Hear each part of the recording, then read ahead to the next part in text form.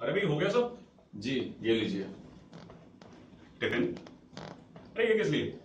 अमन के लिए आज उसके नए स्कूल का पहला दिन है और मैंने उसका फेवरेट ब्रेड पकौड़ा पैक कर दिया है।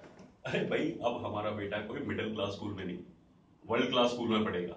और वहाँ पर टिफ़िन विफिन कौन लेके आता है? उस स्कूल का अपना किचन है यहाँ पर five star chef foreign dietitian का बताया हुआ खाना ही बच्चों के लिए बनाता है।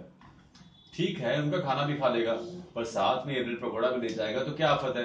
अरे भाई यार तुम मिडिल क्लास हो ना मिडिल क्लास ही रहोगे।